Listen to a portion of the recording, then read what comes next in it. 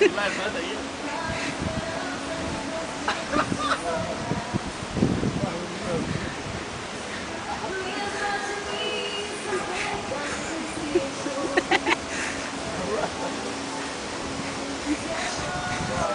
Planta brava, é?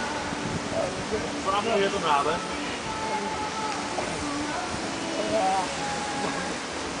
ハハハハ!